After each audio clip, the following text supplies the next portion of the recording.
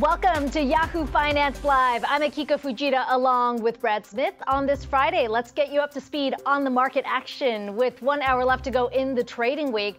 Uh, we've got uh, red arrows across the board right now. The Dow down 230 points roughly, the S&P 500 down 50, and the Nasdaq seeing the steepest losses on the day, down about 1.6% there with tech the biggest decliner in terms of sectors. On the economic front, we did get inflation expectations falling to its lowest level in two and a half years. University of Michigan's consumer sentiment, survey showing uh, that the inflation expectations fell to 3.1% in September, although the overall sentiment did decline in the month. Uh, also, we are watching oil very closely today, continuing to hold above that $90 a barrel level. WTI crude right now at $91 a barrel, up about 1%. Brad, this all ties in well to the big story of the day, which is, of course, the car makers and the big focus there. Yeah, I was going to say sentiment not the only thing coming out of Michigan in terms of big news here today, Akiko.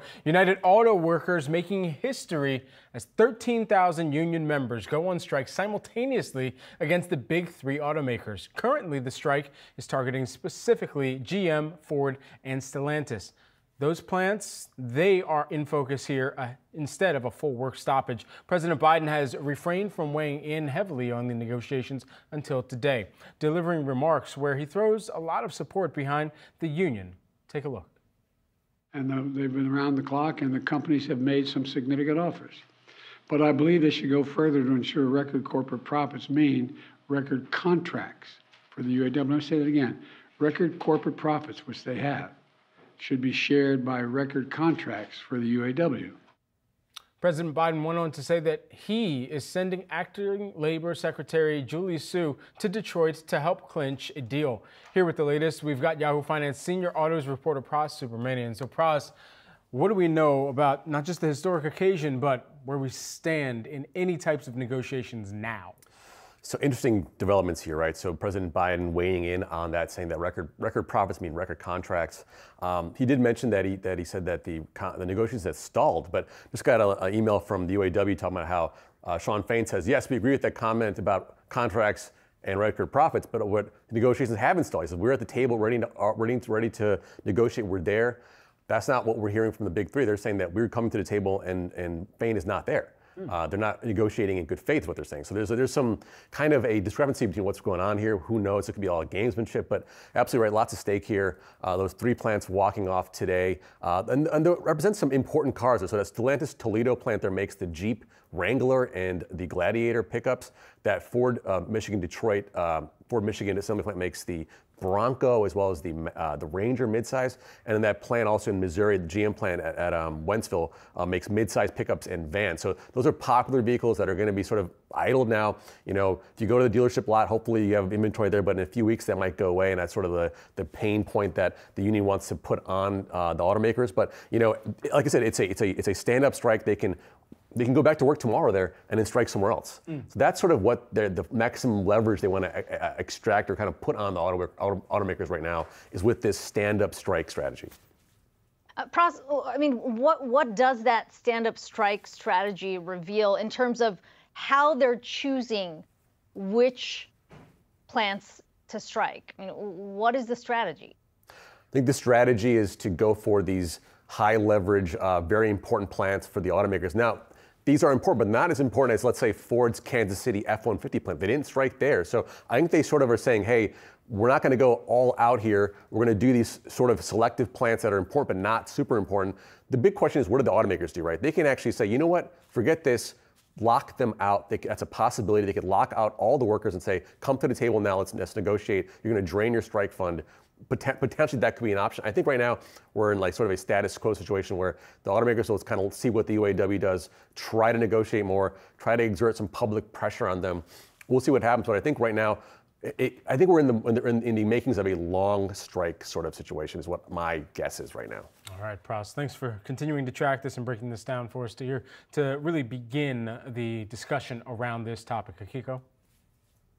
Well, United Auto Workers officials initiated that walkout at just three auto plants so far as part of that strategic strike plan. 13,000 workers at Ford's Bronco plant in Detroit, a Stellantis Jeep factory in Toledo, Ohio, and a GM pickup plant in Missouri. Their posts and took uh, left their posts and took to the picket lines. Now, while the current strike plan allows for minimal pain to the auto industry up front. If negotiations go on much longer, the strikes will expand, impacting not only the big three, but their suppliers, dealers, and, of course, the overall economy. President Biden saying today that he is sending acting Labor Secretary Julie Su and White House senior advisor Gene Sperling to help with negotiations, emphasizing the huge impact that carmakers have on the economy, saying, quote, auto workers helped create America's middle class. They deserve a contract that helps sustain them and the middle class. Our next guest supplies aluminum and magnesium components for GM, Ford, Stellantis, and also Tesla. He's here to give us his insight on the impact the strike will have on the industry. Let's bring in Todd Olson, Twin City Die Castings CEO. Uh, Todd, uh, let's just get to the point there. I mean, what has been the impact or what will be the impact the longer this goes on to your business?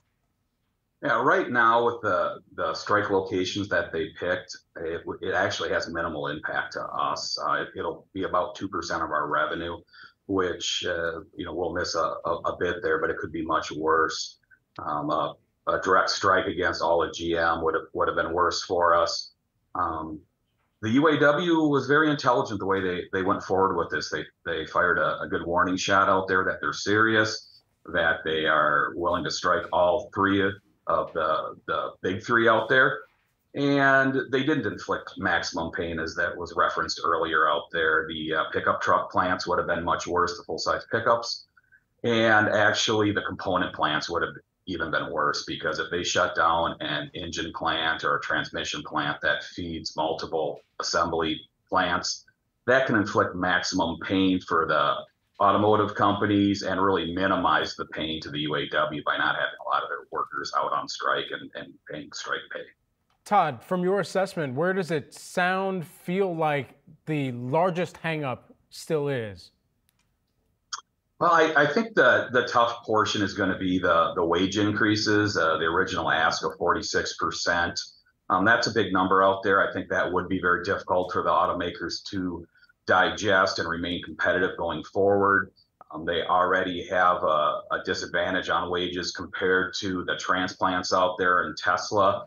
Uh, I think that would be difficult for them to make that transition into the investing into EVs and also prepare for any recessions going forward out there. So I think that number is going to be a big one. I know there's an ask out there for 32 hour work weeks with, with full pay. Um, that's going to be very difficult, but I would I would think that would be something they could end up compromising on if they got the right wages. Todd, how are you planning for the possibility of a prolonged strike? What contingency plans do you have in place? Yes, well, for the last about six months or so, this I felt this was fairly well telegraphed uh, to the industry out there that this was a high potential to happen. Uh, the sides were fairly far apart. You saw the UAW came out fairly aggressive with their speech on on what they wanted out there and, and weren't willing to back down.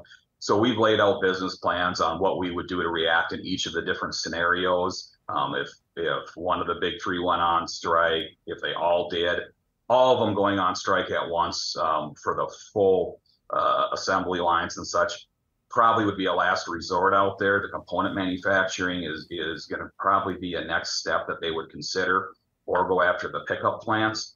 So what we've done there is we've tried to make sure our inventories weren't extremely high going into this, so we can uh, build some inventory in preparation for the next uh, couple weeks out there to kind of soften the blow to our workforce out there. You know, we're doing the the normal things you would do from cutting down overtime, watching extra expenses. I'm spending quite a bit of time uh, communicating with our employees our uh, we're an ESOP company, so we're employee owned. So it's very important for our employees to understand what's going on and and for us to be honest and, and share with them. So right now, I think the we'll see what happens in the next week or so, and then I don't. I think if they make progress, this will step up and and, and get a little more painful for people. Todd, what is the significance of the Teamsters telling their members not to cross picket lines with this strike? I think we've, if I remember correctly, we've seen that in the past. I think that happened in the 2019 strike against General Motors. And I assume that will be targeting uh, the transportation of vehicles um, out of the plants. So that could really be tough also. So they could potentially have vehicles sitting at the plants uh, unable to uh, be sold, but still keep their employees working. Todd, uh, you don't just supply to the big three. As we noted in this introduction to you, you also supply to Tesla. The expectation is here the longer the strike goes on, that's one of those car makers that could benefit on the back of it. Um, what's been the conversation uh, with Tesla for, for you on that front in terms of increasing inventory? I'm wondering if you can add any color on you know, how other car makers are watching this one. Uh, well, actually, we supply to most of the, the automotive manufacturers out there. So the transplants, whether it's BMW and Honda, so uh, the non-union plants. I think there's some concern out there overall on what this could do to suppliers. The automotive industry, the the uh, manufacturers, Ford, General Motors, and such, they've had a, some pretty good years the last two or three years. But I don't think a lot of people realize that the the suppliers, and I'm not just talking about our company and the publicly held large ones, Magna, uh, companies like that, um, things haven't been quite as good because the pricing elasticity isn't there for suppliers. We get locked into long-term contracts, and actually our contracts are written so our price has to go down every year. And when you have an inflationary period with uh, rising wages and costs overall, that makes it very difficult. So I think you're going to have a lot of the automotive companies concerned about what happens to that supply base. Uh, uh it's going to put some people out of business if this goes very long. We've been around 104 years. We've been through numerous ones of these. We're going to survive. But uh, if this goes on for uh, you know even a couple weeks, I think we're going to see some suppliers that are, are going to struggle quickly. Todd, at the outset, you mentioned the increase, the percentage increase that the UAW is looking for here on the supplier side if we were to have major automakers still have to get somewhere well above what they're currently paying, obviously, to at least either meet in the middle of the road or give up some concessions on, on wages, what does that mean for suppliers? Even though you do have these long-standing or multi-year contracts, what does that mean at your next negotiation? Actually, that's one of the larger concerns of mine is if the automakers uh, need to cut costs out there, that they will look to the suppliers to do that. So that's really where I'm, I'm concerned going forward is if uh, wages go up and and uh, they're going to look to suppliers to kind of bridge that gap for them. And, and the margins on automotive suppliers aren't extremely high, so there's not a lot of room to, to do that. Well, Todd, we appreciate you uh, spending the time to talk to us today. Uh, would love to stay in touch to see how this affects your business. Todd Olson, Twin City Diecasting CEO. Good to have you on the show. Thank you, and have a good afternoon. Switching gears here, shares of ARM. They are moving fractionally lower in today's trading session. The stock closed up yesterday nearly 25% in the company's first day of trading. The company's strong public debut signaling a possible revival for the IPO market after a muted year. Instacart today raised its proposed price range on the hype here, and there is plenty to be waiting for, to really kind of be sitting on the edge of your ergonomic chairs right now, Akiko, when we think about just what these two major names could unveil or at least unleash in terms of some of the potential for companies making their way into the public markets. Because to this point, it's really just been the industrial sector, according to some data from Renaissance Capital, that's really kind of run away with the IPOs, the listings that have come forward at this point in the year. But now, tech back in focus, some household names perhaps even. Uh, we got Cava. That's perhaps one of the lunch trades that had made its way to the public markets earlier this year. So we'll see what this this third and fourth quarter hold. Yeah, Brad, I mean, that's why there's been so much interest, right, on, on ARM and now Instacart, because the expectation is that if you've got two successful big debuts there, that could unlock the pipeline for a lot of these unicorns that are waiting in the wings to test the market. Now, it's interesting to note, number one, Instacart now saying they're going to be pricing on Monday, with shares expected to trade on Tuesday. You talked about the higher, uh, you know, price range that, that, that they put their shares, but that's still really pales in comparison to where the company was valued at in their last private funding round, the $39 billion. So this still amounts to what would be a down round in the public markets for Instacart. Now, having said that, it's worth talking about where ARM is right now because it, it did get a, a, huge boost yesterday, up more than 20%. You know, still questions about whether this is about the tech trade or specifically the AI trade and, mm. and the potential for ARM to play in that. And we did get Needham uh, analyst Charles Shi initiating coverage there with a hold, saying that he thinks the valuation is already too high and that ARM could struggle to expand beyond the smartphone market. So just something to keep keep a close watch on. But of course, um, ARM giving back some of their gains, but still well above where um, it started trading at yesterday. Well, we are just getting started here on Yahoo Finance Live. Coming up after the break, are we due for one rate hike this year? Commerce Street Capital CEO on why he thinks there's more ahead or more work ahead for the Fed. Plus. Flyer beware. Airlines are warning fuel prices could hit their bottom line in the quarter ahead what it all means for travelers ahead of the holiday season. And are student loans worth it? To wrap up our student loan week, we are speaking with two experts about the state of student debt ahead of repayments resuming in October. And we're asking, is college even worth the price tag? Those conversations on the other side.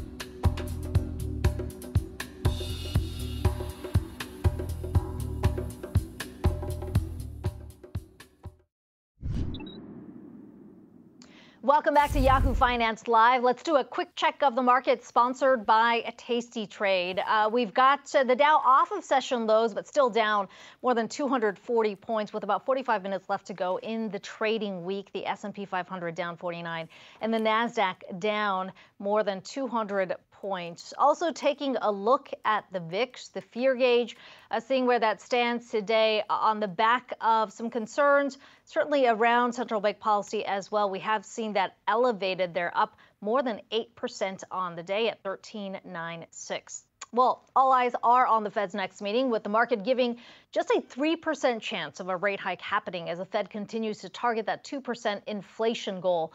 Our next guest, though, is predicting at least one more hike between now and the end of the year. Dory Wiley is Commerce Street Capital CEO and president. He joins us now. Uh, Dory, walk me through your base case. Uh, how much of this is about the reacceleration we have seen in inflation, largely stemming from energy prices?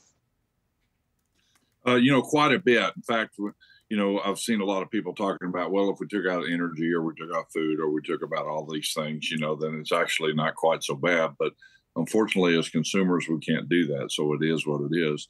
And the energy is probably likely to worsen over the over the next uh, six to six to 12 months due to the long-term supply issues. I think we'll also see some pressure on the housing and the food inflation as well. And it's going to be difficult for the Fed to use that as a gauge monitor on the economy because there's still a lot of inflation pressure there. Dory, how would you describe the state of the consumer then right now, considering some of the confidence data that we've seen come out this week, retail sales data, all of these different purchase decisions that consumers have to wade through right now? You know, you bring up an excellent point because we're getting confused confused data, right? Or confusing data.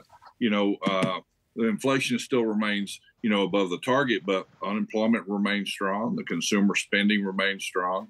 Uh, equity fund inflows into the market are highest in three months. Um, uh, the uh, earnings are kind of remaining strong, and people are adjusting down S&P earnings, but tech still remains very strong. The VIX, even though it's up today, is still way below kind of kind of where a red red or even an average, right? It's it's a risk on according to the VIX. And GDP forecast on GDPNow is is still high at 5.6%.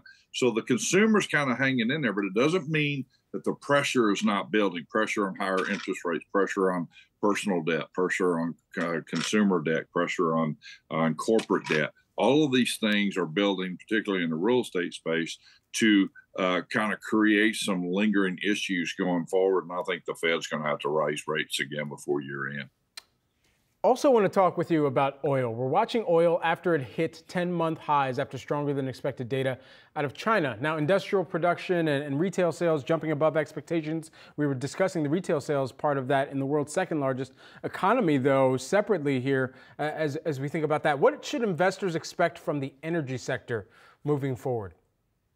I think if you look at, you know, energy is extremely difficult to, to forecast, but we have long-term supply issues that are still uh, at, at uh, you know built up into the market. So I really do think uh, you just almost have to be bullish over the next two to three to five years. Uh, short term is always difficult to, to forecast, but the what's kept uh, oil prices down has been the expectation of a recession that hasn't shown up right? And so this decrease in demand for oil that was supposed to offset these long-term supply issues just has not materialized. So is your expectation that uh, you know OPEC Plus maintains these supply cuts, or, or you think that sort of the, the, the demand picture really becomes the driver in the months ahead, uh, particularly um, considering what's happening in China? The long-term driver is the supply side. The short-term driver is demand, right? Because that's anticipating uh, what what the market's going to do. But I think the market's kind of had it wrong, in that uh, it's overestimated a demand problem that really hasn't manifested itself. So I think you'll continue to see oil oil oil rise uh, above the hundred dollar barrel range. And then as we're taking a look at WTI and Brent here on the screen for our viewers here, if, if, if that does rise above the $100 a barrel range, how does that trickle through to the consumer and their purchase decisions? And not just you know how much they've already had to weather over the course of 2022 i mean it kind of places us back into that same mind frame but at a time where they're already perhaps bending not necessarily breaking even in some of the necessities purchases as well Well, it's got to affect them, right? I mean, cars are expensive, gas is expensive. Not everyone can afford it. Uh, if you live in California, where the gas is twice as expensive as it is, you know, that's got to slow you down. It's got to hurt that economy. So, uh, uh, I just I think it's going to be a negative effect on uh, a lot of part of the country and the consumer, and it'll add to the pressure that they're already under. Uh, and and the Fed's done a good job. People haven't given them enough credit. They've been trying to engineer a soft landing, and uh, you know it's amazing how the economy is is hung in there, and the consumer particularly is hung in there with 500 basis point rate hike uh, to stop and breathe uh, next week, which they probably will uh, given given the odds that are in the market right now. That's fine, but uh, you know, with with all the positive things about them hanging in there, I could see them raising rates. You know, maybe one more time before year end. Is this the is this the reminder that consumers needed though that the Fed does not control energy, does not control oil, but still has to try and figure out and, and maneuver and run the calculus for some type of soft landing? Well, you bring up a really good thing. People like to get mad at the Fed. You know, hey, they're causing a recession and this, that, and the other. No, they're just a small cog in the wheel here, trying to influence the market. You know, uh, they'd be better off getting mad at Congress for spending all that money, which the Fed can't control. Right? That's the that's where a lot of inflationary pressure comes from. They're just doing their best to try to deal with the data that they they have and to uh, engineer a soft landing. So there's no reason to be mad at the Fed. Uh, but the uh, the consumers done a pretty good job. I've just been amazed at how resilient it was. I, I thought we'd have more pressure on the market uh, coming into this end of this year, but uh, you know, looking at the VIX, it's a risk on, and uh, the GDP forecast. Now, the, the Atlanta GDP was above six uh, forecast, and now it's down to 5.6. It may come down a little bit more, but that's still a very strong GDP growth number.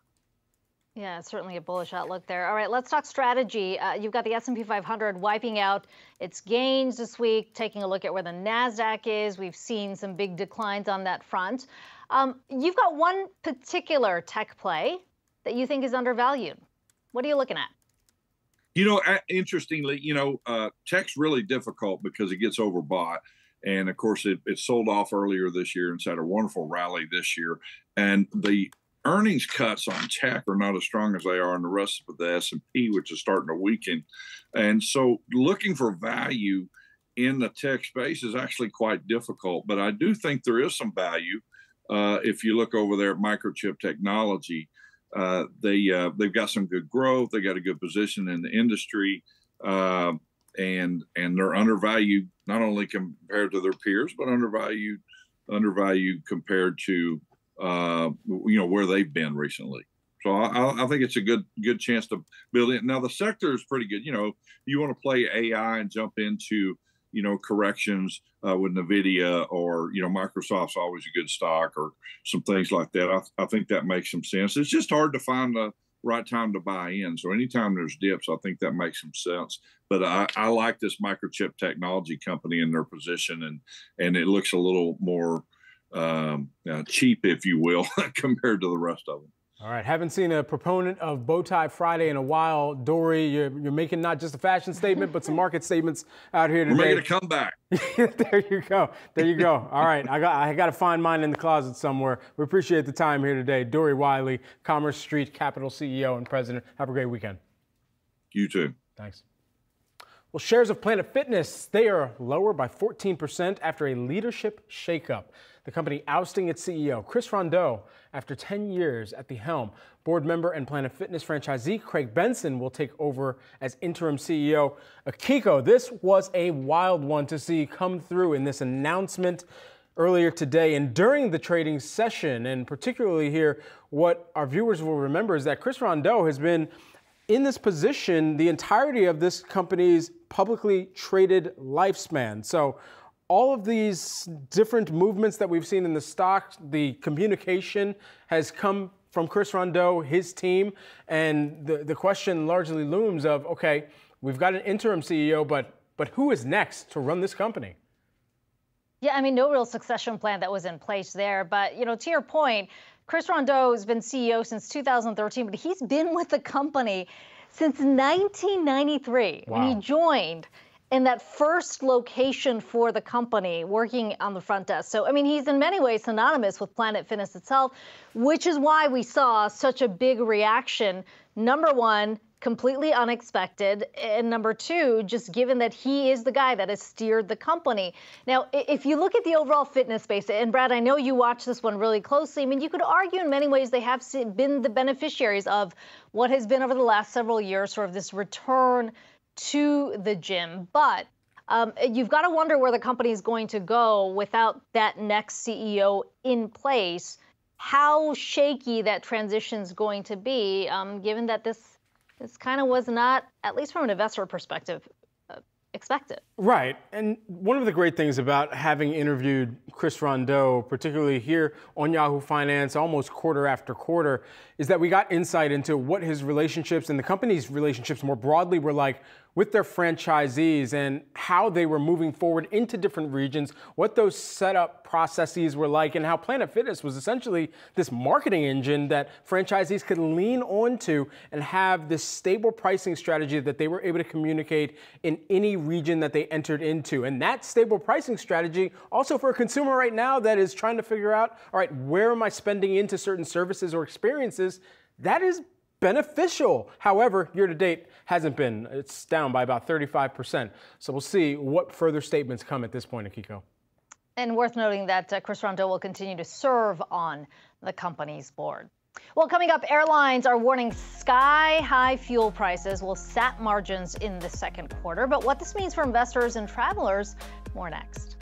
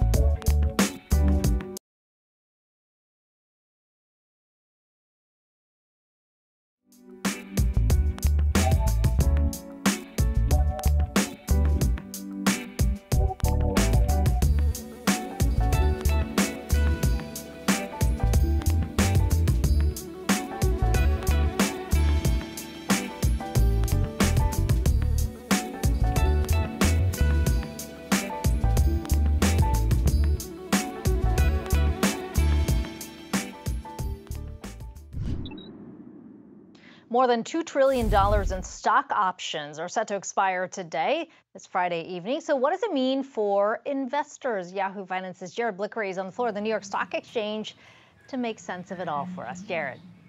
Let's make some sense here. Uh, it is OPEX day. It's actually the highest volume OPEX day, at least in terms of the options that are expiring, ever to have occurred in September, the sixth highest ever. And uh, all this does is provide a little bit of liquidity in the market. Uh, but I want to go to the YF Interactive. I've, already, I've actually charted what usually happens to stocks overall, the S&P 500, on these option expiration days. So this goes back to 2015, and in cyan we have the SPY, which tracks the S&P 500. Here we are at about 450, and then this here tracks what happens on OPEX days. You can see it's from the upper left to the lower right, except that we've kind of flatlined this year. Uh, but true to uh, history here, we are going down on options expiration date. And we got to talk about the VIX if we're talking options because we just hit the lowest print of the year 13 and change today. This is a three month chart. If I were to show you a year to date, you would see, there you go, it is the lowest of the year, and yet we are up off of that print, so nothing to uh, write home about yet, but something we're going to be watching next week because guess what? This is prime time crash season, September, October. This is when the VIX tends to spike. Just taking another look at the YF Interactive, these purple bars are what usually happens, and in September, I'm circling that now, and in October, we get those big uh, spikes up, and that's what happens on average. Doesn't have to happen, uh, but if it did this year, we'd probably see that with a bit of a downdraft in equities. So just kind of being mindful of that. We're also taking a look at bonds this week. Uh, the 10-year T-note yield up just a little bit. Here's the year-to-date look. I'm going to change this to a three-month, and you can see up near these highs that we had in the month of August. And when we have the 10-year T-note surging, guess what? Tech take, tends to take a backseat. If we look at the five days of price action this week in the S&P 500 sectors, guess what? XLK is dead last. That's down 2.2%. So kind of a backseat. We haven't seen tech really be the laggard this much uh, since earlier in the year when we were talking about mega cap outperformance. So I think next week is going, be, is going to be very interesting, especially Wednesday when we have that big Fed meeting, watching bonds, and also stock reactions to that. Guys. Yeah, things always get interesting in a Fed meeting, right? I'll be here. Weeks when we have the Fed meeting. Jared's going to be on the floor for us. All right, thanks for that, Jared. Have a good weekend. You too. Well, airline stocks hitting some turbulence with several major airlines cutting guidance in recent weeks, largely due to higher jet fuel costs. American Airlines now expects third quarter earnings of 20 cents and 30 cents per share. That's sharply lower than its previous estimate of around 85 cents to 95 cents a share. Low cost carrier Spirit now sees revenue between $1.24 billion and $1.25 billion in the third quarter. Southwest, United Airlines, and Alaska all issuing new guidance on how much they're expecting to spend on jet fuel. Joining us now, we've got Peter McNally, Third Bridge Global Sector Lead for Industrials, Materials, and Energy. Peter, great to speak with you as always here. If, if I may summon back into the chat Southwest specifically here, because I, I think they gave a warning that was a little bit more telling about the consumer, especially on that low end here. How much of a warning shot was that to the state of this kind of travel resurgence that many of these CEOs had said is locked in place, is good to go? We are in a countercyclical recovery on that front. Well, there's a few things going on here, you know, in, in, the industry. One, I think we've seen in particular this summer, there's been a shift to international. People have been traveling traveling domestically for a few years now since uh, since the recovery, and that's where we think we've seen the outperformance in major airlines like United, Delta, and American on on their top line serving you know serving those customers. But costs you know as well is uh, is one more factor. And then the third thing that we haven't seen really in four years is capacity. And more planes are being put into service. Uh, airlines have been aggressive in ordering. And finally boeing and airbus are getting their supply chains together. These planes are being delivered. There's more supply of seats. And that's putting some downward pressure on fares here. And we're going into a seasonally softer period for demand. So um, you know, this is going to be the state of play, we think, for uh, for the next few months in the industry. Yeah, Peter, you know, I'm thinking back to last year when we saw really energy sp- uh, prices spike in a big way on the back of the Russia Ukraine war. Uh, airlines did raise their prices, and yet there was this continued demand from consumers who were in the middle of what we characterize as revenge travel. Um, is the do airlines have that same pricing power this time around, even as they see their own costs add up? Because consumers, as you point out, aren't in the same place. No, it's different now. Um, the the situation has eroded with these additional aircrafts that are that are coming in into service. And yes, fares have gotten high, you know, you know for sure. And and people do want to travel. We wouldn't we wouldn't argue that. And you know, we are through at least on the leisure side in terms of passenger numbers where we were in in 2019. Business still has a way to go, and so does international. But uh, airlines have less pricing power now than they do uh, at any point since since the recovery began. You mentioned something really interesting in, in why customers continue to book and, and that it's interactional. If more of the bookings are for an interna- interactional, excuse me, purpose, then does that lead to a, a, kind of leisure malaise here? People who are just kind of booking travel for the sake of the experience of it all? Well, look, I mean, there's always a few, you know, things to consider here, but I, I think, you know, what one thing that should not be underestimated in this is that airlines, you know, still don't have change fees. So it's allowing people to book and then have a lot more flexibility on when and where they go.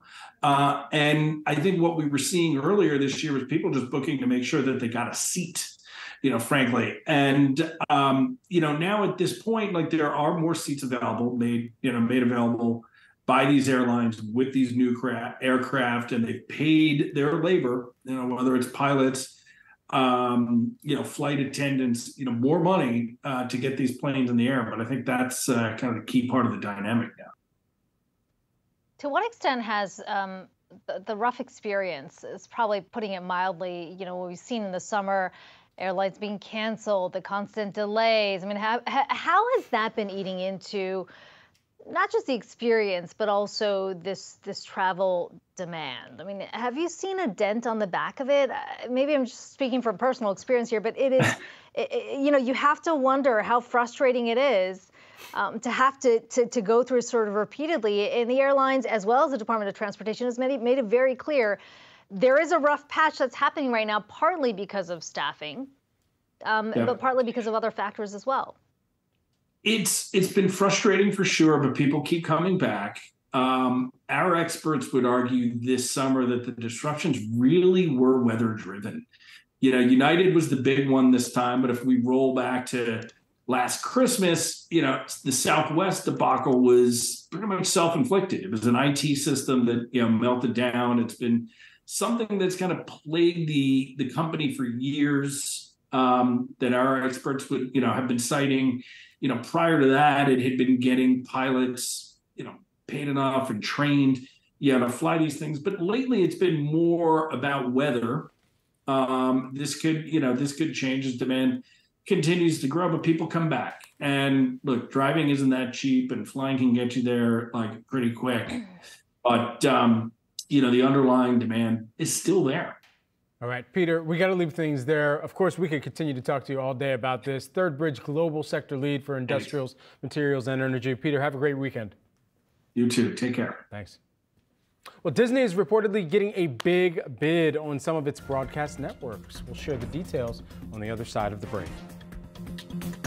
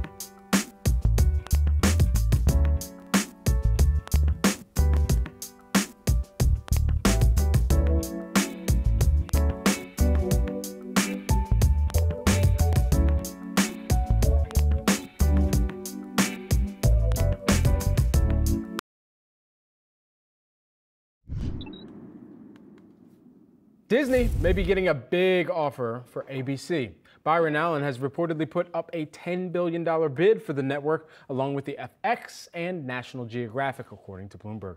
Yahoo Finance's Alexandra Canal joins us with the details. Hey, Ali. Hey, Brad. Yeah, so a $10 billion bid from Allen, reportedly. On top of that, you have Nexstar Media, Media Group being another reported potential buyer for these linear networks. Now, it's important to note that these are exploratory talks, so nothing has been set in stone just yet. Disney did respond to the reports, writing in a statement, quote, while we are open to considering a variety of strategic options for our linear businesses, at this time, the Walt Disney Company has made no decision with respect to the divestiture of ABC or any other property, and any report to that effect is unfounded. But overall, this does represent how serious Bob Iger is about potentially selling off the linear networks. He said before that linear may no longer be core to Disney's business moving forward. We also heard from Nexstar earlier this week at a media conference. The company did express its interest to potentially purchase some of those assets from Disney, although they did say that any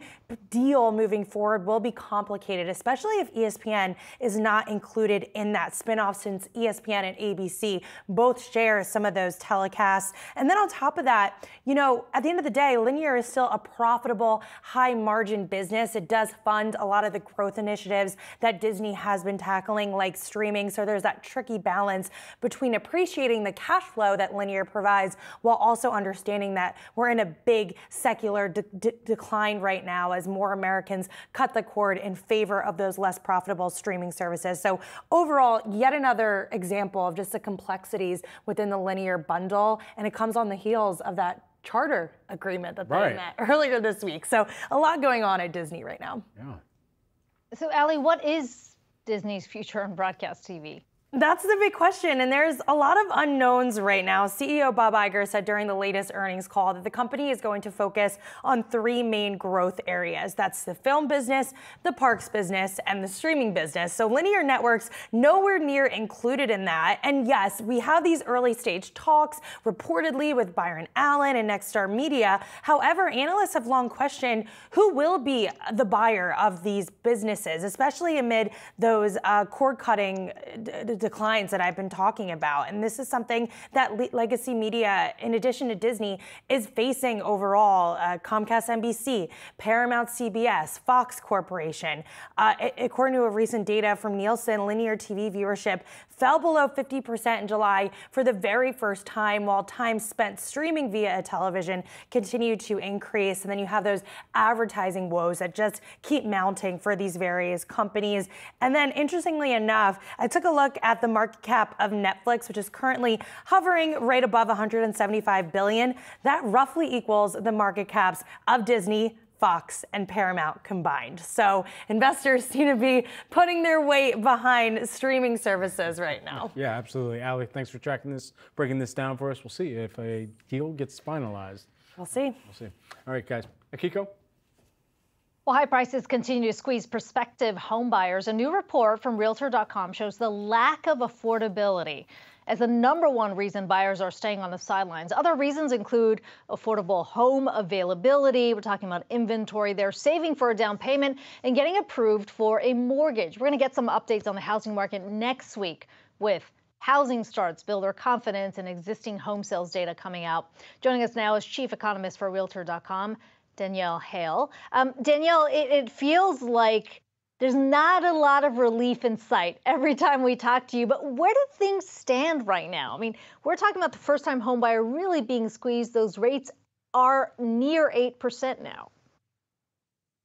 Yeah, home buying costs are uh, very, very high right now. They've essentially doubled in the last three years. So it is a challenging time to be a home buyer, especially if you're a first time home buyer and don't have the benefit of seeing your uh, your prior home go up in price and build up some equity that you can leverage in a transaction. So, um, first time home buyers are challenged by the market. At the same time, existing homeowners are challenged by the market because they are sitting on very low mortgage rates, uh, in many cases under 4% or even under 3% in some cases.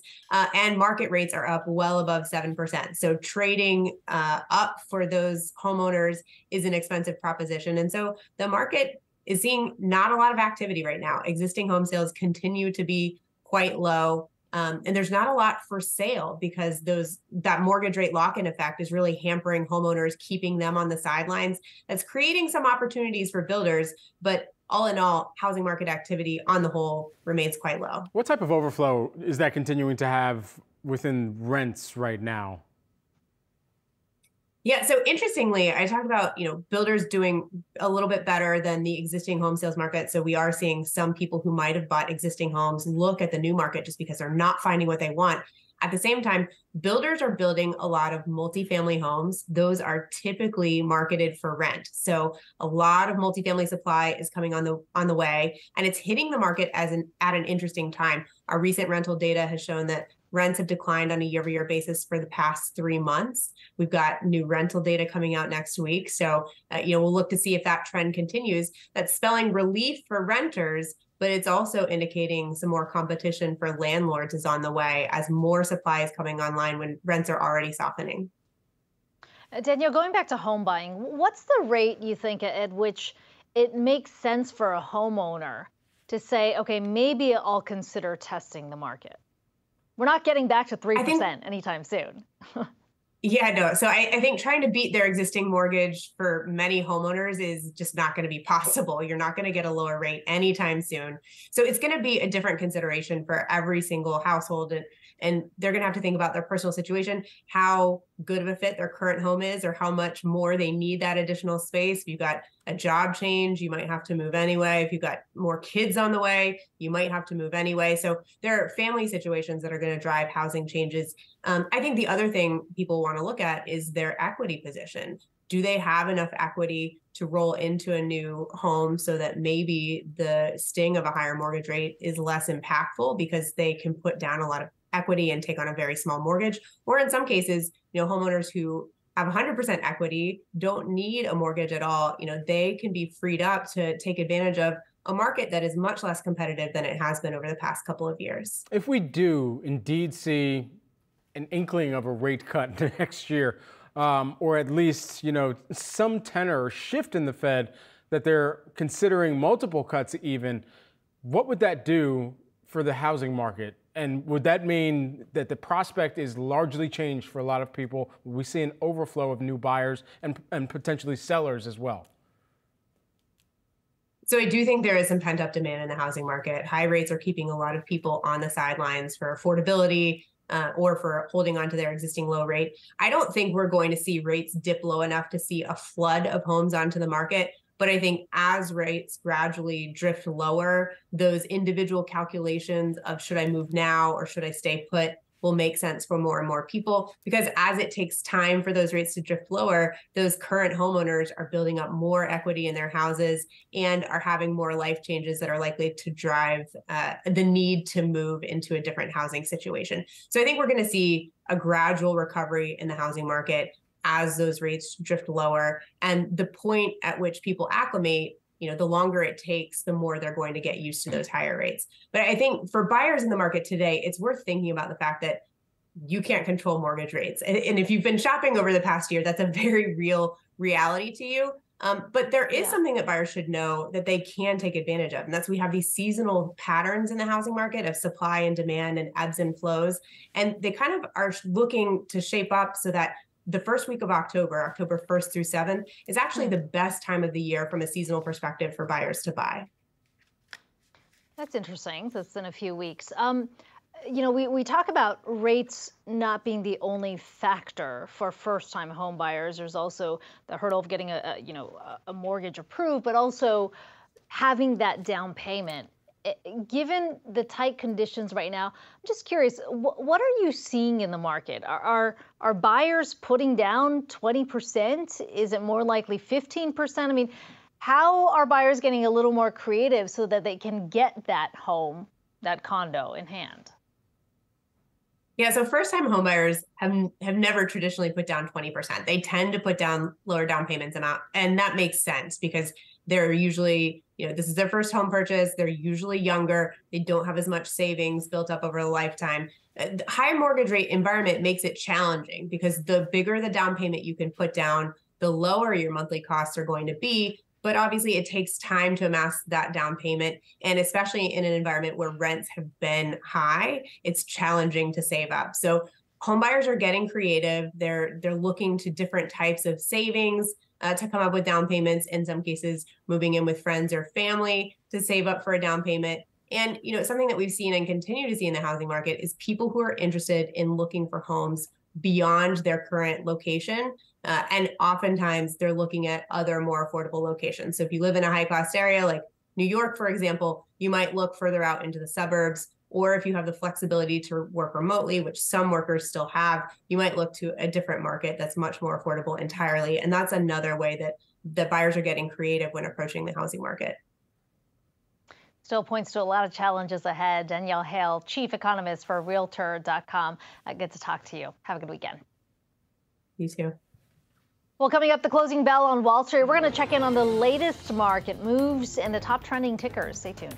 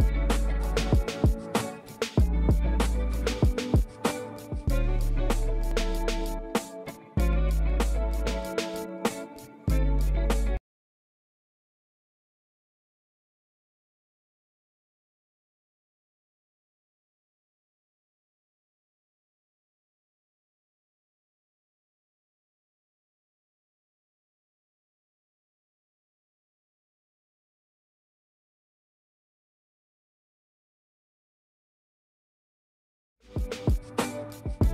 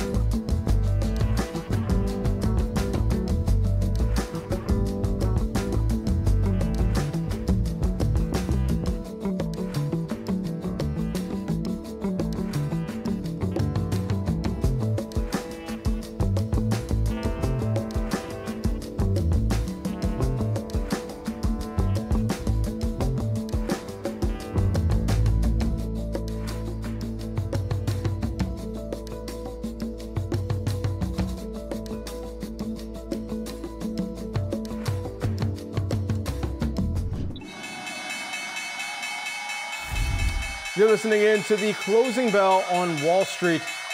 Let's do a quick check of the markets as the clock has officially struck 4 p.m. Eastern Time. Taking a look at the Dow, the S&P 500, and the Nasdaq make it stop. We see some red across the board here. Let's run through it real quick. This is sponsored by tastytrade. This market check, the Dow is down by about eight tenths of a percent. Ends the day there, lower by 288 points. S&P 500 ends the day with losses of about 1.2 percent, and the Nasdaq tech-heavy average ends the day in the red by 1.5%, about 1.6% if you're rounding up at home and really want to layer it on. But red across the board to end the day, Akiko. Okay, Brad, let's talk about some of the stocks that we've been watching closely throughout the day. Salesforce down nearly 2% today. Bloomberg reporting the cloud based software firm is hiring 3,300 people across various departments, a change of tone from the company. Earlier this year, remember, they eliminated 10% of its workforce. And Brad, you know, as soon as I saw this, thinking back to the conversations that our very own Brian Sozzi had out at Dreamforce, how many times did he talk about those boomerang employees? Those employees that were maybe laid off earlier on the year, maybe left the company last year. Uh, Salesforce really making an effort to try and bring those employees back, largely because they see opportunities um, in huge expansion. AI is certainly a big one, but they've also talked about sales, engineering.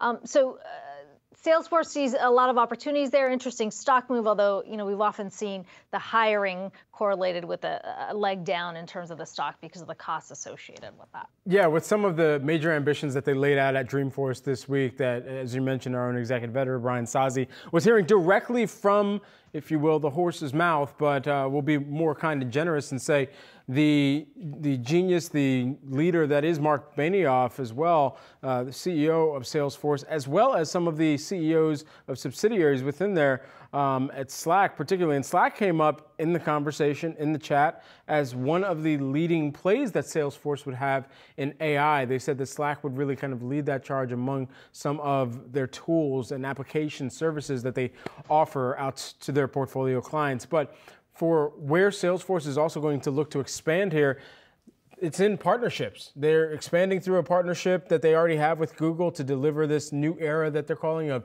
business productivity powered by generative AI. So, a larger kind of indication of where we've already seen some of the mega cap tech companies decide how they're going to carve out their space through partnerships to maintain their own kind of market share, even as this new wave of, of, generative AI investments has accelerated, had lighter fluid essentially pouring on it over the past several quarters here, and, and especially over the course of this year. All right, let's move on to another stock we're watching, DoorDash.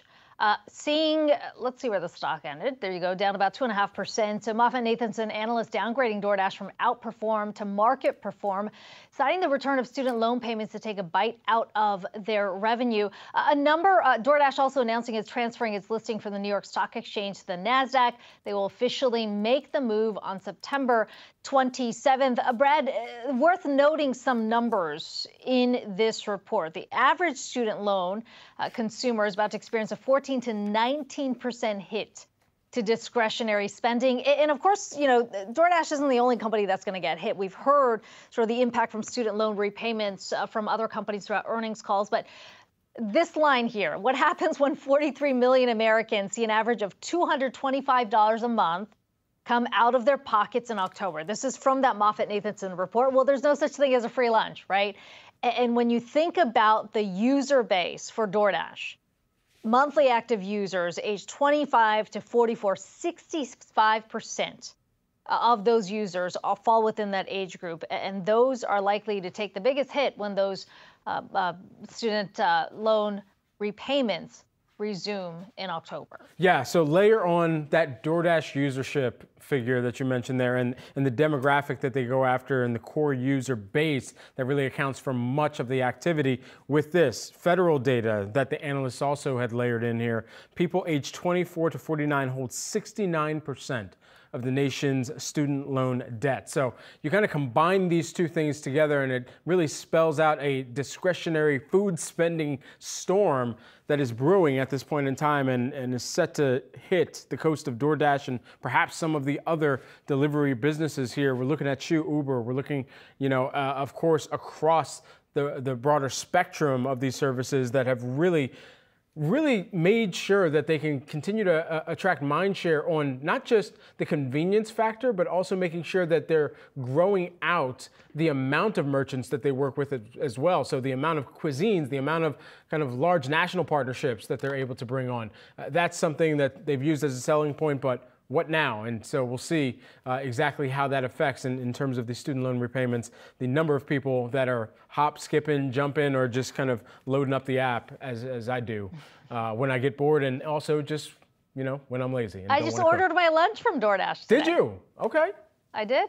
All right. I did. Slide us some Did recs. For the show. All right, let's talk about Taiwan Semiconductor here as well. Taiwan Semiconductor Manufacturing Company ends the day down by 2.4%. This is the world's largest third party semiconductor manufacturer, telling its major suppliers to delay deliveries amid slowing demand. That's according to a Reuters report here. This comes just a week after the company said its August revenue fell 13.5% from last year. Uh, just briefly as well here, um, according to the report, companies affected by the instruction um, to delay supplier shipments into uh, into Taiwan Semiconductor. It includes ASML, that's the lith- uh, lithography equipment that is necessary for some of the chip making, the high end chip making, uh, according to sources within this story as well. So it wasn't just TSMC um, hit by this today. Uh, a number of their other competitors as well. Um, that st- those stocks moving a leg lower, but uh, I think it's kind of interesting that the contrast with what we're hearing from um, Wall Street analysts in terms of what this all means. Uh, Citi's analysts saying this is no new news. Um, they said any pullback in the chip equipment subsector or, or the sector uh, would be a buying opportunity. Um, you had Jefferies analysts saying that you know they they still um, have some of these um, chip makers, uh, chip equipment suppliers, as well as their top picks. So while we are seeing that pullback today, um, certainly that the long-term um, investment case, at least among some Wall Street analysts, appear to be holding steady. Yeah, great point there.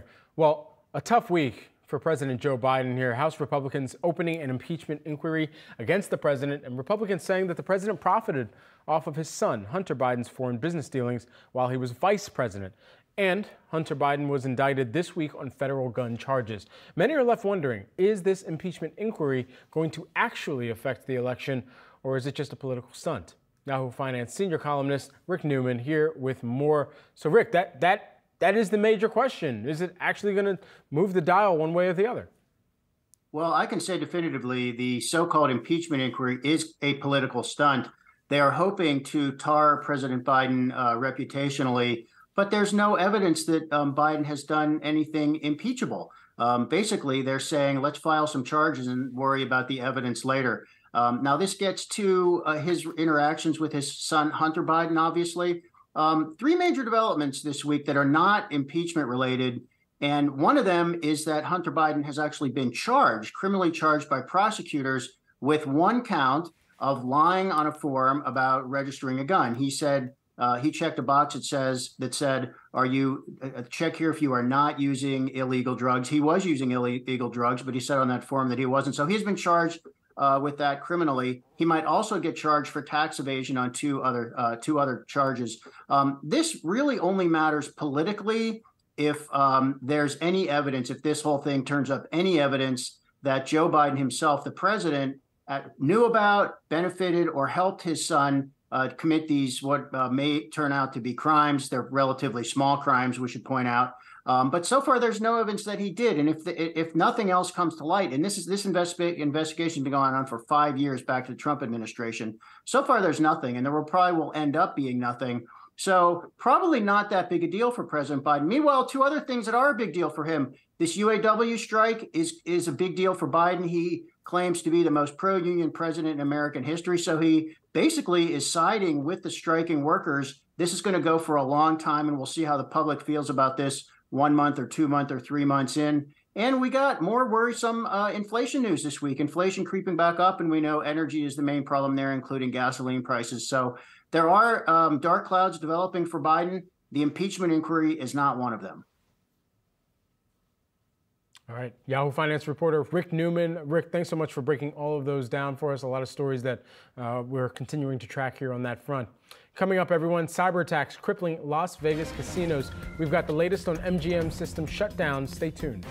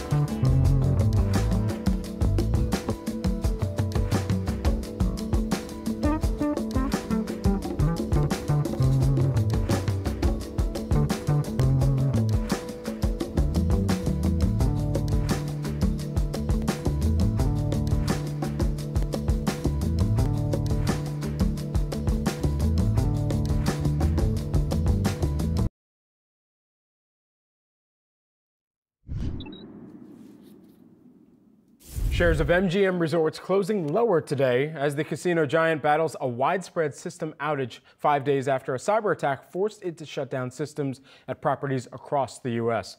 Guests reporting ATMs, slot machines, and digital room keycards remained out of order. This is Caesars Entertainment reported it was hit by a cyber attack last week that saw the personal data of its reward members compromised. The company acknowledged in an SEC filing that it couldn't guarantee the security of stolen information, putting millions at risk. With more on the potential fallout from these attacks, we've got Allan Liska, a threat security analyst at cybersecurity firm Recorded Future here. Allan, the significance here of all three of these, or at least Caesars and MGM, uh, being targeted in this fashion? Yeah, it's fairly significant. Um, Casinos have been hit a number of times this year. Uh, we've seen uh, uh, multiple attacks against them, but nothing this big. And so having these kind of huge casinos being impacted, and not just the casinos, but as you pointed out, all of their clients and uh, customers being impacted is huge. I mean, six terabytes worth of data is what is being reported out in terms of information that was stolen. Uh, what does this tell you about the security that's in place at these casinos where, I mean, everything from your room key to your transaction, your winnings, all of that is operated under this digital umbrella? Right. So casinos have traditionally invested very heavily in physical security, right? They they want to make sure that their slot machines are safe. They want to make sure that nobody's card counting, that nobody can break into the system. They haven't invested as heavily in cybersecurity, but as we're finding out, so much of these casinos are network based, right? Uh, the as you say, the the rooms, the slot machines, all of your credit card information, all of your membership information is all stored digitally. And that's ripe for these kind of attacks and can be incredibly devastating to not only the patrons of the casino, but to the casino themselves. So what type of hit on customer confidence does this typically have after after a cybersecurity breach like this? It, it, depends. I mean, you saw the stock price, um, you know, for both casinos has been down this week. Uh, so there is an investor confidence issue. Um, but then there's also a confidence issue in terms of the casino themselves. Is it safe to go back there? Now, the good news is when an attack like this happens, there's almost always a heavy investment in security. So undoubtedly, both Caesars and MGM will be much more secure going forward. Um, but they may have lost confidence in their, um, you know, uh, the confidence of their customers. And honestly, um, it also probably means that the other casinos on the strip are now heavily investing in cybersecurity as well to make sure that they don't fall victim. Allan, I wonder what you make of the reports of how this, in fact, was carried out. That this was actually information that was obtained by a phone call, not necessarily, right? I mean, hackers were able to use that information from the call to hack into the system, but it wasn't all just done on the internet. And, and I ask that because there's certainly a lot of education among companies across the country that have been put into letting employees know about what to look out for um, when there are criminals who are trying to hack into a system. I mean, this doesn't feel like it was that high tech most attacks aren't. Whether you're talking about a phishing attack over email, most of them aren't that complex to get in. And even most exploitations aren't that complex. That's kind of one of the dirty secrets of security is too many things are missed. In this case, social engineering, when done well, um, can be really hard to defend against. Uh, just a couple weeks before these attacks, at the DEF CON conference in Las Vegas, they had a whole social engineering village where they were showing how easy it is to use social engineering to gain access. Because with the right script, the right voice, the right attitude, it is surprisingly easy to get help desk people to reset a password or to give you a, a multi-factor authentication code and that's where a lot of organizations don't extend the training to they they'll do phishing training they'll do security awareness training but they won't necessarily do social engineering training. Where, where are we hearing generative AI could be perhaps one of the larger solutions for cybersecurity? Is that, I mean, obviously it's coming up in the industry, but it, it's, a, it's a matter of at, at what cost for corporations are they going to have to kind of just make sure that they put up the dollars in order to not just have an added layer of cybersecurity, but they're also being proactive within that measure as well? Right. Well, and that's the the thing with generative AI that you need to think about is it's not just a implement it and forget it kind of solution. There's a lot of care and feeding that goes into an AI based solution to improve it and have it constantly be responsive to new threats and new kinds of attacks. And so, just like with anything else in security, AI can be really helpful, but you have to have the staff, the resources, and the capabilities to manage it and maintain it Otherwise, it's just another tool sitting on your shelf, not being useful. But it can be very helpful in improving cybersecurity within an organization.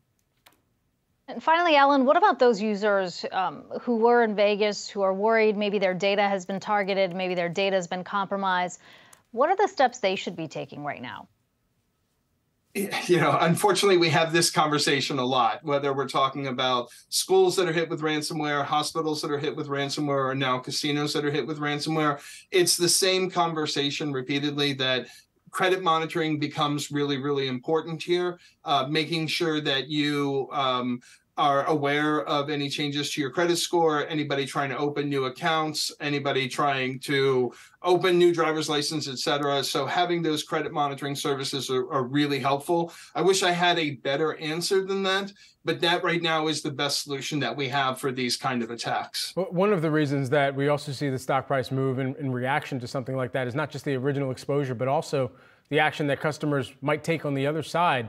Are, are you expecting you know, some, some type of massive settlements in order to assuage um, customers who are impacted by this as, as a result of, and perhaps, and are brewing up a, a class action lawsuit.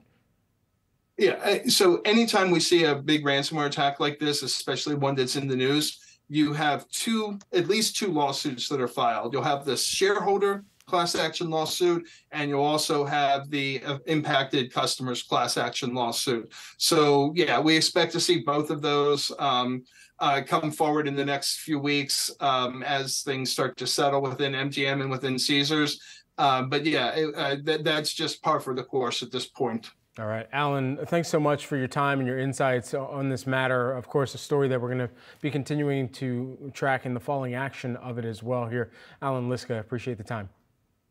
Thank you very much. Let's do a quick check of the market sponsored by tastytrade. Uh, a red to uh, round out the trading week with the Dow down 288 points, the S&P 500 down 54, and the Nasdaq seeing the biggest losses on the day with uh, tech the sector down nearly 2% right now. We've also been watching energy um, as we see those oil prices hold above $90 a barrel. Well, is college even worth the price tag? We're going to speak with two experts about the state of student debt coming up on the other side. We'll be right back.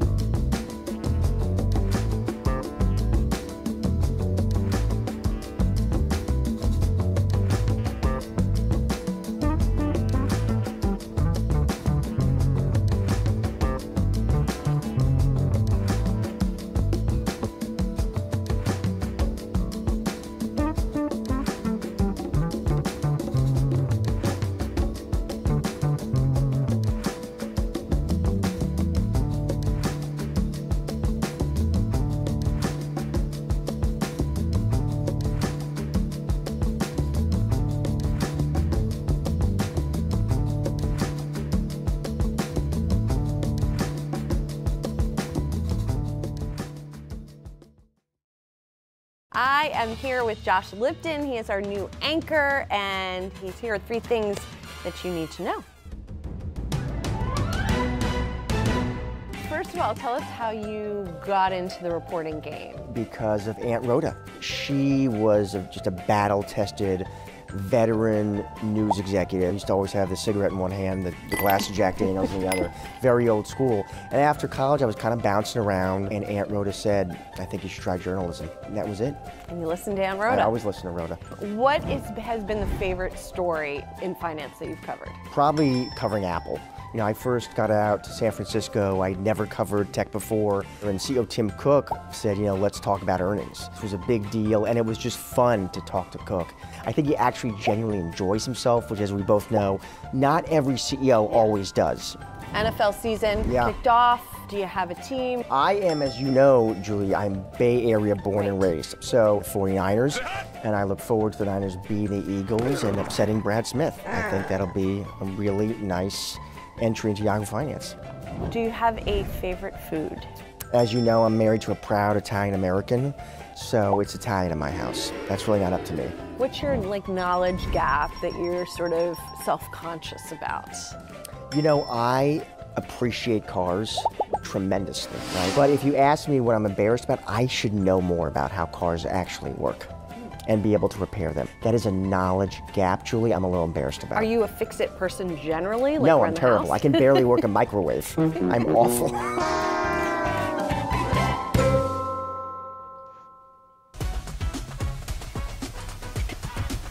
Well, federal student loan payments are set to resume on October 1st, and 43.5 million Americans will be setting aside part of their income to make these payments, with the average federal debt balance per graduate now more than $37,000. There's a lot of people beginning to question whether student loans are worth it. Joining us now as part of our week long special Student Loans Smarter Strategies, we've got Blake Zeff, the director of the documentary Loan Wolves, and Natalia Abrams, Student Debt Crisis Center founder and president. Good to talk to both of you. Uh, Natalia, I'm going to start with you. How should we be thinking about that question? I always struggle with the premise of that question. I feel that higher education is absolutely worth it. Um, but student loans, no. I mean, it's a really difficult financial product for people to take on.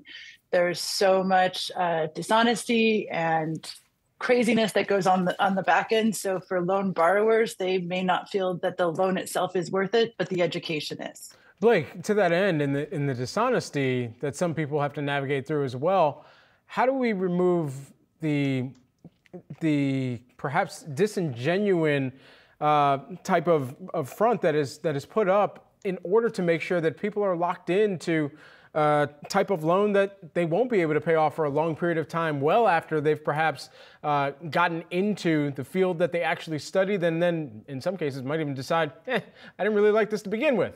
So, how, how do we get rid of some of the predatory practices? That's a great question. Well, and I- to Natalia. Yeah. Oh, sorry. Go ahead. Uh, No, go ahead, Blake. Well, I was just going to say, Natalia, that you made a point before that I think is really key to this, which is, you know, we kind of we made a promise to uh, young people in this country for generations, going back decades, where we said, if you are, you know, working class or middle class, you want to thrive in this country, if you want to succeed in this country, you want a chance to have a great life, you can. That's the American dream. Just work hard, go to school, study really hard, get good grades, and you'll graduate and you'll go to a great college. Um, and that's your ladder uh, into you know thriving in this country. But what we don't really say, or what we hadn't said, was yeah, you're going to have to take on these massive loans because it's really really expensive. And you know, guidance counselors for years would tell these kids, well, don't worry about these loans that you don't understand because you're 17 years old and who understands things like compound interest and things like that.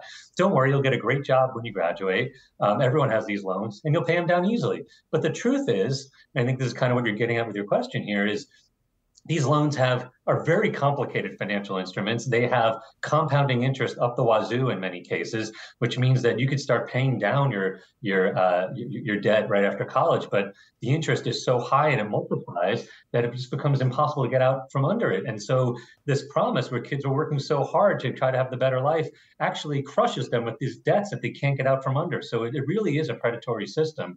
And in terms of, of how we get out from under it, I mean. I just I agree with Natalia. It's like the education is really important, but people are going to have to start asking: Is it even worth taking out these loans because it's just so expensive? And one fix, if I may, is that you know student debt is one of the few debts in this country that you basically cannot get out from uh, through bankruptcy. It, it's amazing. I mean, you can do all sorts of crazy things in this country, um, and discharge that debt through bankruptcy. But basically, with student debt, you can't. So that's one easy fix right there that the federal government can do and should do to make this slightly less predatory. Uh, Natalia, you know, the reality is if you are in high school right now and you're looking ahead to college, college is not affordable for a lot of people, and that's why they have to take out those student loans.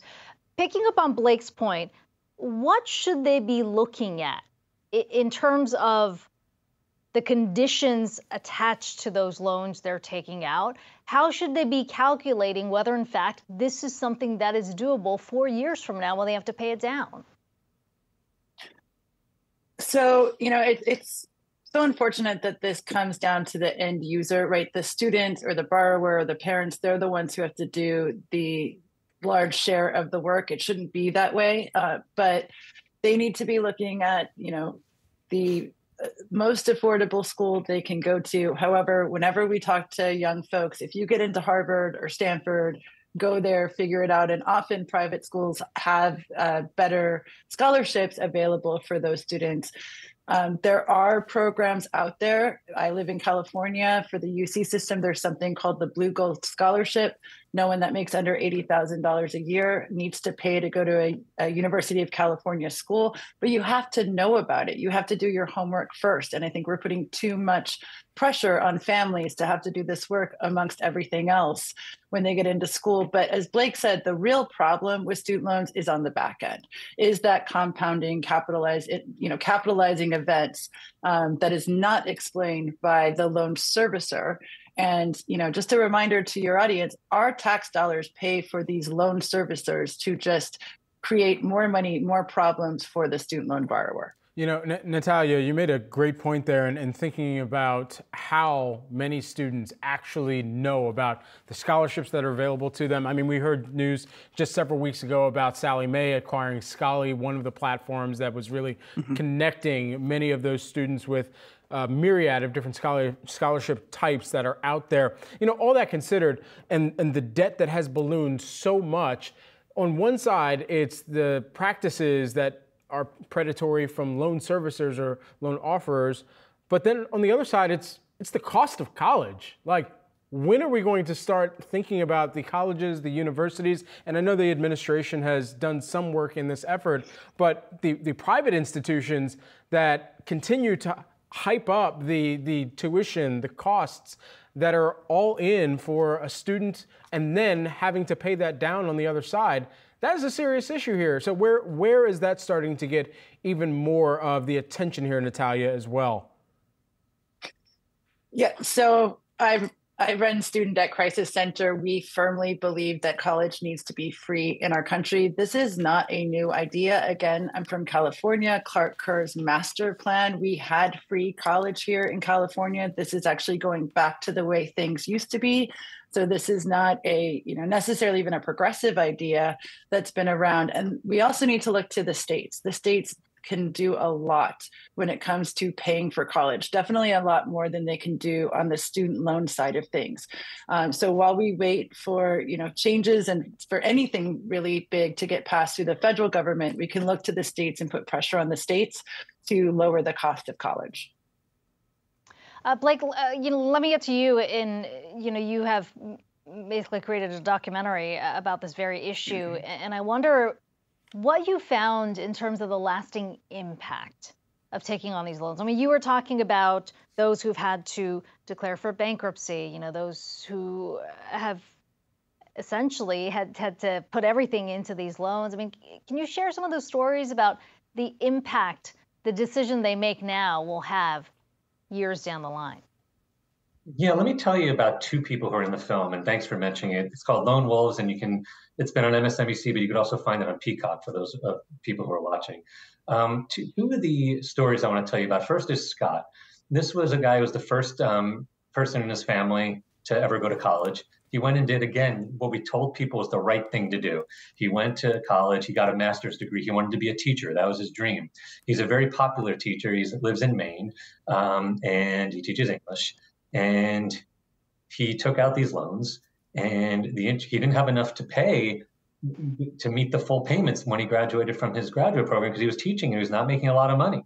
And if you don't meet those payments right away, as Natalia and I have talked about, those payments can, you know, the interest will then escalate. The payments get bigger and bigger. It gets out of control. Fast forward to 10, 20 years later, Scott was looking at what, what initially was like $35,000 in debt is now over $100,000 in debt. It feels totally insurmountable. He's in his 40s. He's got kids and he contemplated taking his life.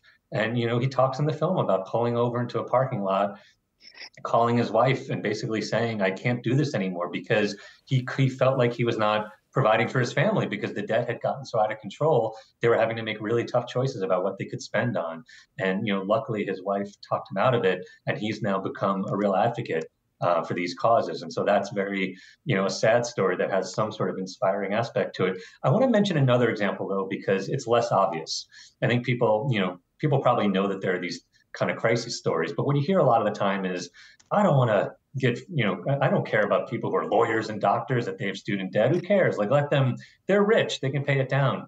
You know, that's that's kind of what you hear from the other side. But there was this woman, Vivian, who um, whose parents had basically no education. They immigrated from other countries didn't know English, and um, she was the first in her family. She worked her tail off to get into college, got into a great school, uh, went to Cornell, went to a great medical school.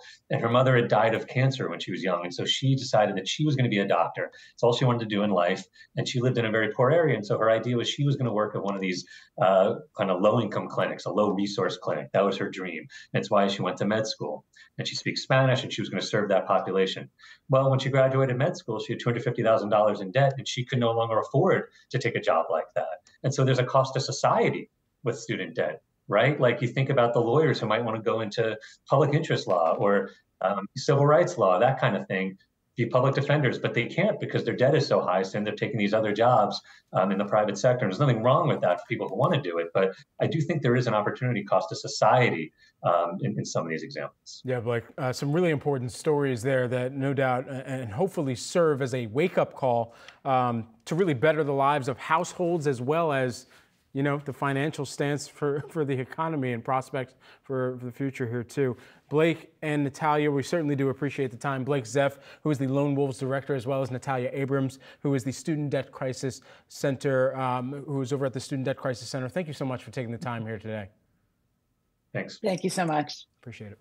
Well, coming up, we're checking in on some of today's top trending stories. Ali Canal and Josh Schafer standing by with what to watch. Hey, Brad. Well, for breakfast, maybe you have some eggs, maybe you have a little breakfast burrito, but it's probably been a minute since you had a bowl of cereal. Not a lot of people eating cereal these days. We're going to break down the numbers and why that is next.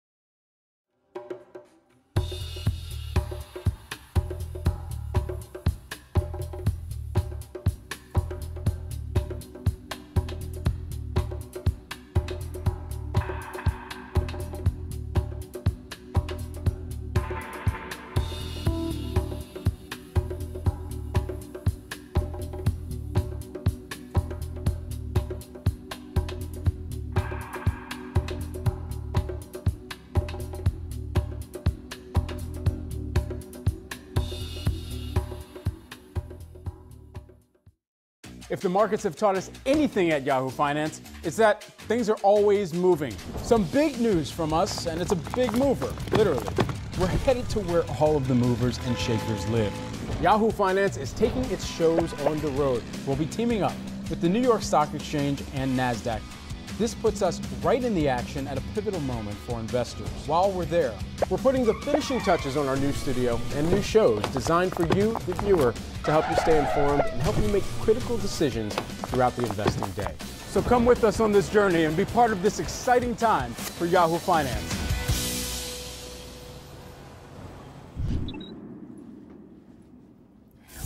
To Yahoo Finance Live. I'm Alexandra Canal here with Josh Schafer, Pras Subramanian. It's Friday, guys. We got some killer Friday stories. Pras, I want to kick it over to you. Start us off. Yeah, so you know, you don't want to see, right, where you see higher prices and smaller sort of quantities for things like think yogurt, yogurt containers or even Starbucks coffee, right? Mm. But it's actually happening. And one company in France is shaming these companies, Carrefour in France, putting labels on certain objects that are saying like, uh, this object costs more money now and had less fewer quantity of whatever you wanted to buy, yogurt. Uh, in this case, it's sorry. In this case, it's Lipton iced tea, Pepsi, to boxes of Lindt chocolates. Mm. And now they're actually now, now they're doing this as a public service to people, but also they're trying to shame these suppliers as they re- renegotiate new deals. But they want to say, hey, you're getting your, you're getting less money, less stuff for your money, and actually they're not changing prices either. So it's the grocery store Shaming, complaining yeah. that it's now hard to sell the product because it has less in it because they have to pay the price. Well, they're saying the that grocery, the grocery store wants the producers to bring down the prices. Yes, but they're And not. They're not. Interesting But, play. but why doesn't have the to pay the price too, right? Right. If Instead of being prices, smug and putting shrinkflation on the thing, why don't you, why doesn't the grocery store just be heroic for the consumer and mark the prices I down? I, I How about actually, that? I actually think this tactic is genius. I mean, the French Yeah. they just do it right. They don't care. Yeah. They're going to say, you know what? If you're going to raise prices and lower the quantity, then we're going to tell consumers that you're doing it because consumers don't really know. Oh yeah, yeah. You don't know until you buy it. You don't know. You Yeah. don't understand. And I think it's important to know what you're buying. And I think it's a great tactic. Starbucks tall coffee, right? One from like Right. 10 like there's those eight. TikTok Yeah. like Yeah. hacks about how, you know, you do it in different cup sizes and how they're really Oh my! The movie you- theater one is my favorite one. Which one's that one? You've they go to they go to a movie theater and they pour in like a large soda and an extra large soda and it's the same amount. They just shape the Yeah, cup and then they're charging you more But then every time you That's go to the movie theater, the guy's upselling you by 25 cents, right? You can't possibly get a medium soda because they're like, well, it's 25 cents more for a large. Right, So then you end up getting the XL. You start at the small, you work your way up. Yeah. Oh, that just gets me. Like that's very deceptive, and I don't like that. I like wonder if the grocery store is getting more more consumers. You would think that that's kind of a thing people like, right? It's pretty funny. I would go to see it. Or I wonder how it's affecting sales. Well, yeah, if you're Pepsi, Lindt Yeah. chocolate, uh, Lipton iced tea, I mean, what do you do then, right? You're getting like kind of called out in the store, I- on the shelf, you're getting called out. So Mm-hmm. may not be the best thing. But Carrefour, hand it to you guys, got to hand it to you guys. Nice work. I appreciate that. Ross, I have my eyes on something else that's in the grocery store, and sales aren't doing too well. Great story in the Wall Street Journal today talking about cereal sales. This is ahead of General Mills reporting earnings next week. General Mills is the biggest supplier or seller of cereals in the country. But interesting when you take a look at overall cereal sales. So you saw that they jumped 5.2% in 2020. Apparently, during the pandemic, for some reason, we wanted more cereal.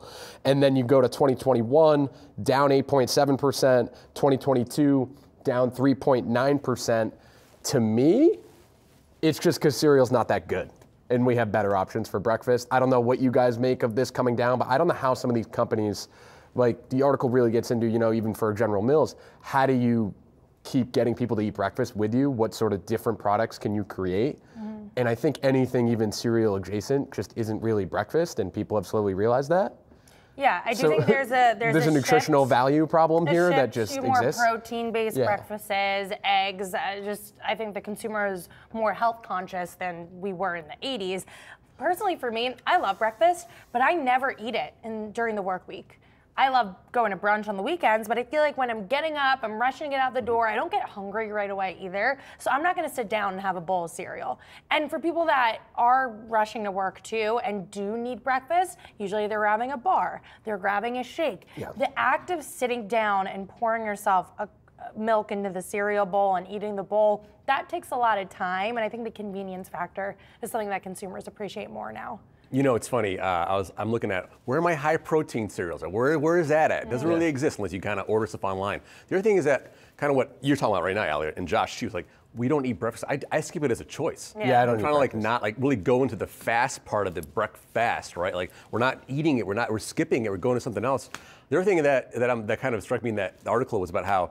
The secret, the little secret, the dirty little secret about cereal is like it's an adult indulgence. Adults Oh buy yeah, it I'd rather to eat, at night. So I, I will Thought say that was funny. I Very used to get like a few years ago. I would get boxes of Special K, and I would eat them. Special K, that was your indulgence. yeah, I get, but they have a lot No of Captain sugar. Crunch, no Cinnamon Toast Crunch. I, I'm trying. Cocoa Puffs. I would do the, the, the strawberry Special K strawberry. K, which Oh. has a oh. lot of sugar, and I would have that Wild my. Friday night, Special eat K that. I, I would eat it every now and then. My But used to it's not that healthy for you, and I think that's what people are starting to realize. And then you see companies like Kellogg's, which is just spinning off their cereal division. Like, all right, Yeah. you go over here, we'll focus on snacks, which is a lot more profitable. So you know, it'll be interesting to see if the future of the cereal can survive. I think it's probably being more bars, like Pras was saying, right? And even just Well, remember there Special was K, cereal Special K does make bars that are pretty Remember good. they, they have the milk, like the frozen Yeah, milk yeah, yeah. bars. Those were fru- so good. The cinnamon- they had cinnamon that toast was really crunch good. ones. They had frozen milk bars. Yeah, it was like it was like a Cereal milk? bar, and it Yeah. had Froot Loops, and then there was we a solved cereal's problem in two minutes.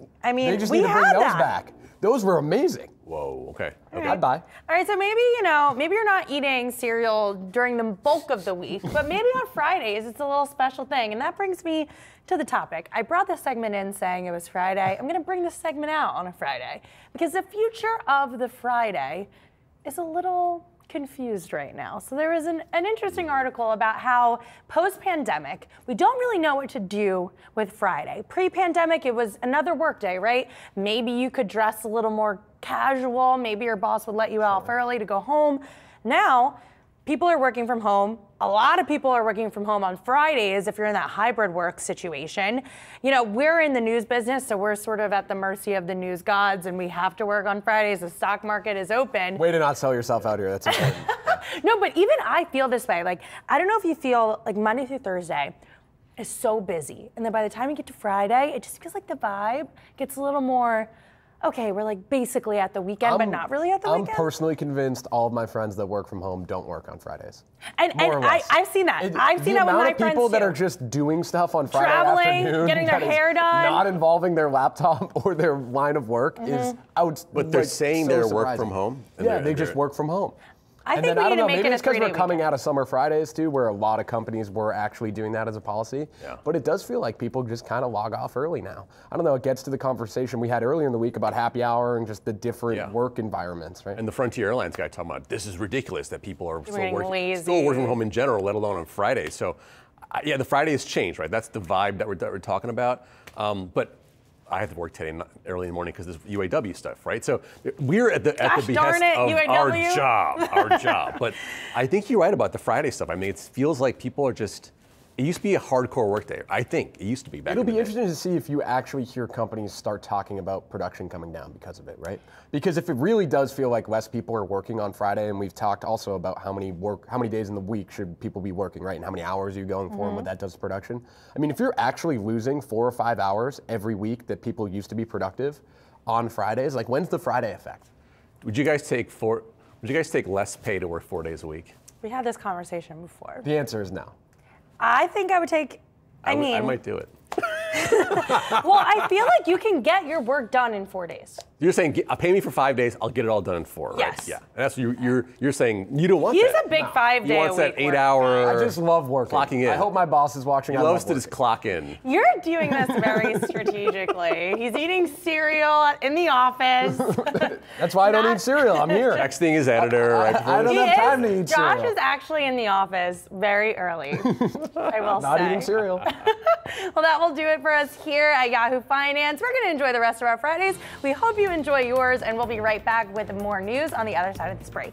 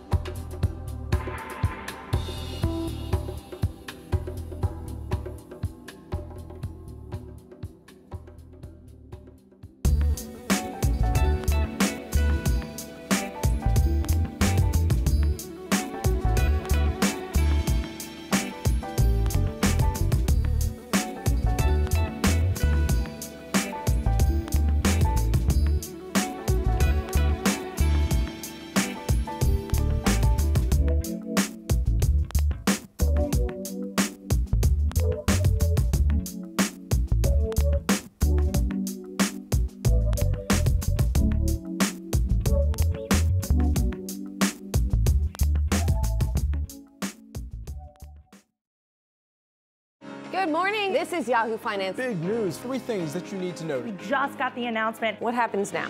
I got a question. What does success look like? What was one of the biggest challenges that you faced? How much does that raise the odds for a recession? This phase is over. Tell me what happens to the debt ceiling. Where does generative AI, though, fit into your portfolio? Talk to us about this diversification and what investors need to know. And I think it's important. This is the stuff that gets me out of bed, fired up. What's the gateway? What's the new bridge to opportunity? Doesn't matter if it's a soft landing or a hard landing. Big, big interview. I, I can't wait. Supreme Court out with the ruling on President Biden's student debt cancellation. Right, let's turn now to some recent tech earnings. And they give you information if you watch them closely. President Bostic, President Investors Gary Gensler, thank you so much. Part of what Davos is about is sharing best practices, coming forward with ideas, and then enabling those ideas into action. And I would add that there's more to come on this and we keep producing products that help people lead healthier lives. This is one of those rooms they use to simulate light in space. Interest rates will come down again. Figure out where your money is going now. You got to scope that out. And the numbers really tell the story. What does all this mean for you? Keep it tuned into Yahoo Finance.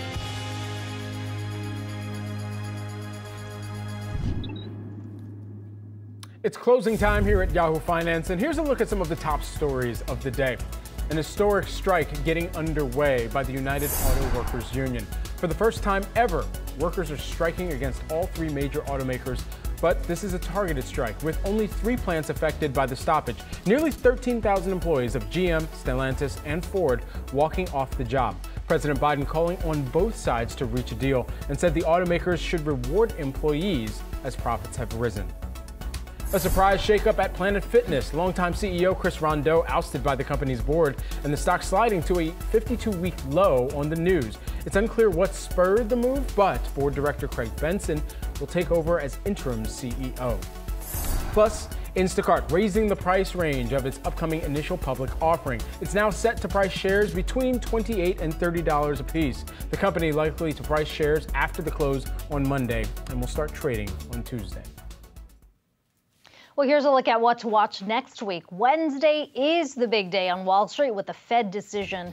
The central bank is widely expected to hold rates steady at this meeting, but investors are pricing in at least one more rate hike this year. The decision will be announced at 2 p.m., and we will be live to bring you analysis in the news conference from Fed Chair Jerome Powell. It'll be a busy week for the housing sector. A slew of data is expected from home builder sentiment to housing starts and existing home sales. On the earnings front, among the companies we'll hear from include AutoZone, FedEx, General Mills, KB Home, and Darden. And Russia's invasion of Ukraine is expected to be the major focus of the UN General Assembly, kicking off on Monday.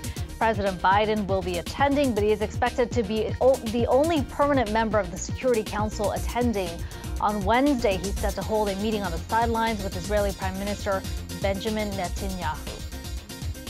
Well, that'll do it for today's Yahoo Finance Live. Be sure to come back here on Monday, 3 p.m. Eastern, for all of your coverage leading up to and after the closing bell. Have a great weekend.